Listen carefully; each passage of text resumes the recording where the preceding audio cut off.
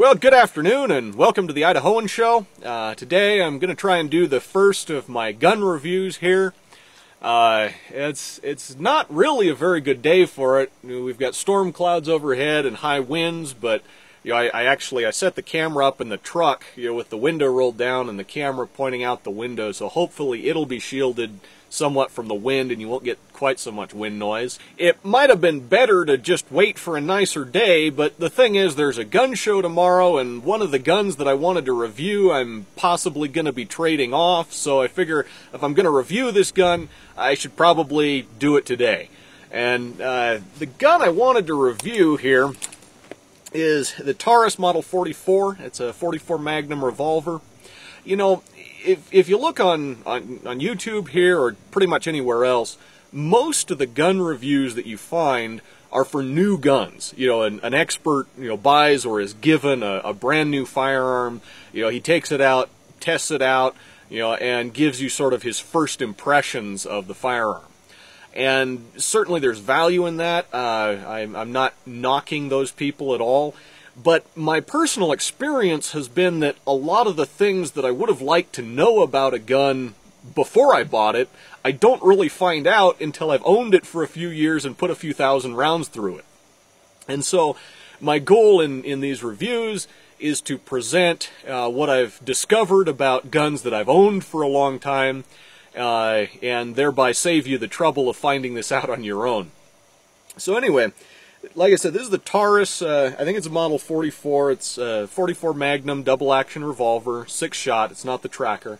Um, this is actually the first 44 Magnum I ever purchased.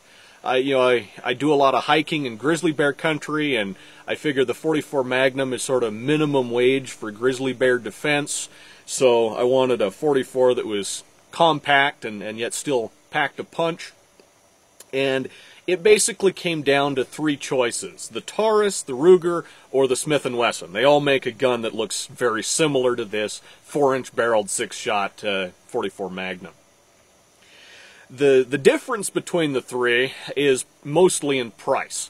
You know, the Taurus costs uh, between 450 and $500. Uh, the Smith & Wesson costs between 750 and 800 and the Ruger is somewhere in between there. Um, the the Taurus and the Smith and Wesson look very similar. The Ruger is a little different. It's a little blockier. Uh, it's a little heavier. I didn't want to carry the extra weight, so I kind of ruled that one off uh, or ruled that one out uh, up front. And so it basically came down to a question of is it worth spending the extra $300 on the Smith & Wesson uh, or will the Taurus do the same thing for $300 less?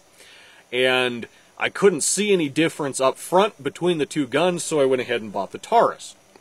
Later on, you know, after I'd put a few thousand rounds through the gun, I was to discover that there is a critical difference between the Taurus and the Smith & Wesson. Specifically, and I know you can't see this on the camera, maybe I can uh, come up with a computer animation or something that'll show it uh, graphically later on, but there's a lug at the bottom of the cylinder that locks the cylinder in place during firing to make sure that the chamber is aligned with the barrel. As the action is cycled, as the cylinder rotates to bring a new chamber into position, you know, that lug has to first drop out and then re-engage after the cylinder is rotated. Now, on the Smith & Wesson, if you you know, if you watch that lug and slowly cock the hammer to, to cycle the action, you'll notice first the lug drops out of the cylinder, then there's a slight gap before the cylinder starts to rotate. And that provides a measure of safety to ensure that there's never any binding there. With the Taurus, the cylinder starts to rotate the instant that the lug drops out. And so after the gun has been shot quite a bit, you know, after the parts have had a chance to wear in a little, there's a possibility that the the bar that rotates the cylinder can engage before the lug is completely disengaged. And what happens then is the cylinder locks up. Now, it's real easy to clear the lockup. All you have to do, lower the hammer, you know, tap the cylinder a little maybe, and, and then slowly cock it again. Um, and I don't think I've ever had a problem with cylinder lockup double action. Even shooting at single action, it's pretty rare. You know, maybe one out of a hundred shots it might do it. So, you know, if you're just using it for target shooting, if you're using it for hunting, it's probably no big deal.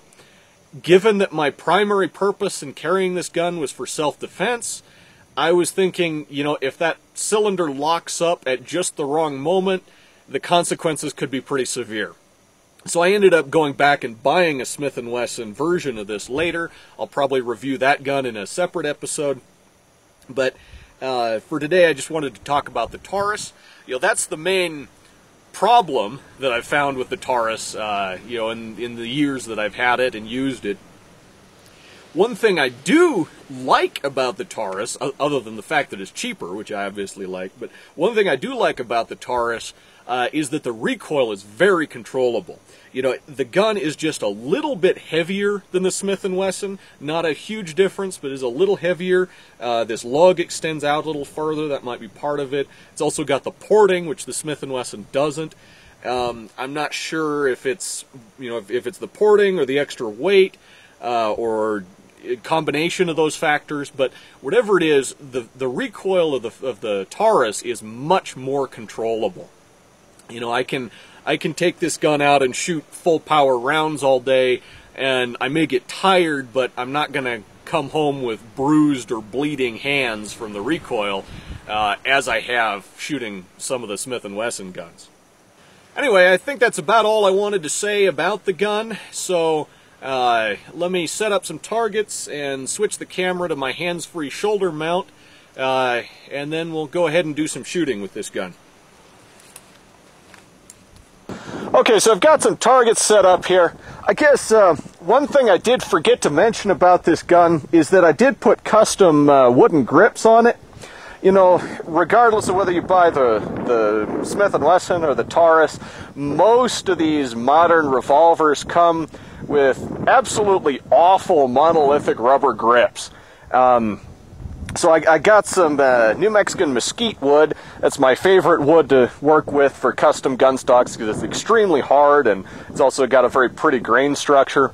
Um, but, you know, I just carved that to fit my hand and I wind up with a grip that not only looks better, but more importantly, it's more ergonomic, which in turn makes shooting uh, more intuitive and allows me to shoot more accurately and faster.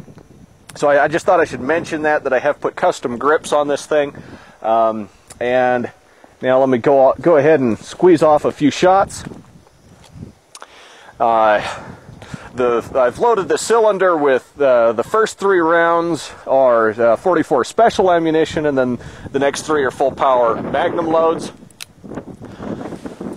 So if we just shoot some of these steel targets here.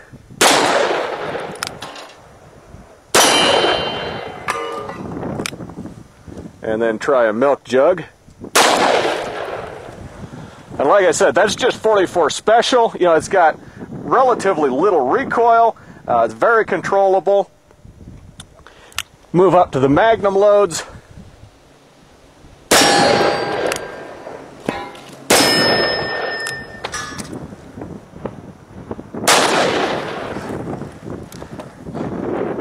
Yeah, so there again, even with the full power Magnum loads, the recoil is really no big deal. Uh, so, very controllable, but still definitely packs a punch.